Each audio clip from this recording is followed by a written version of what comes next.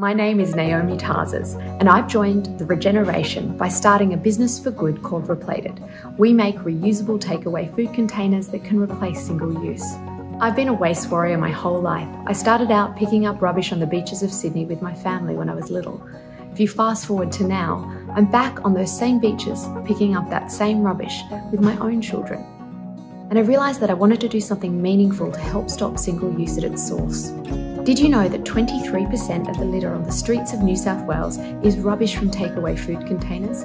The best option to switch to is a reusable, which is where RePlated comes in. We make our affordable containers right here in Australia from an innovative blend of materials, the same plastic that single use is made from and glass. This makes them tough enough to withstand at least a year, if not two, of use in pretty heavy duty situations.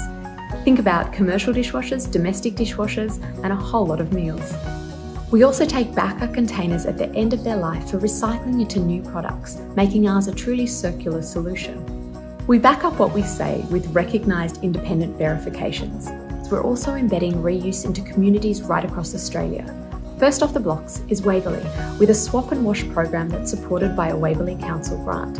You buy a container to use the system, then swap it when picking up your meal or with your delivery driver, and you always wash it up afterwards.